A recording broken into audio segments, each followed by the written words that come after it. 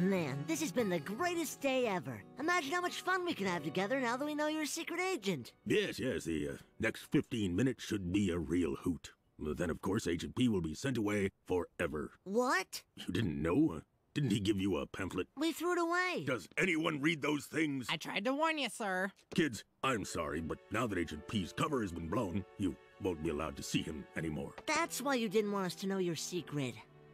So we'll never see Perry again? There has to be another way. Sorry, Phineas, it isn't safe. You know too much. Now I never wished so much that I could unknow something. Sir, maybe there is a way. What about Dr. Doofenshmirtz's Amnesianator? I never built an amnesianator. I think I'd remember building something like that. Well, that might work, but uh, you'd all have to agree. So our choice is to either forget the best day ever, forget the biggest adventure we've ever had, and forget meeting Agent P, or remember today, but never see Perry again?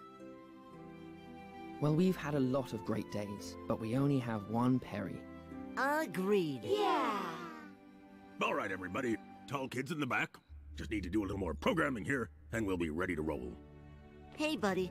Ferb and I just wanted to say our goodbyes. You know, we thought we'd finally met the real you when we found out you were Agent P. But the fact is, Pet, Secret Agent, they're both the real you. You are now, and always have been, a great pet. And a great friend.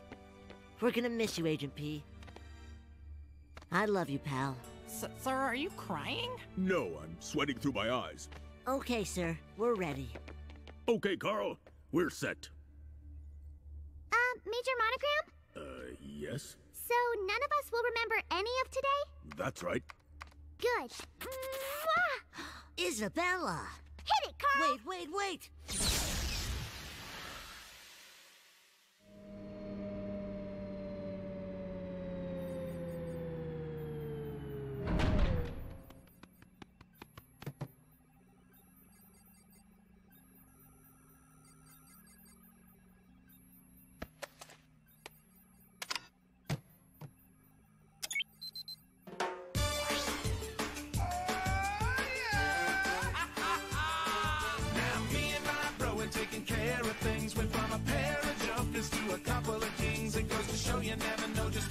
shuffle rings.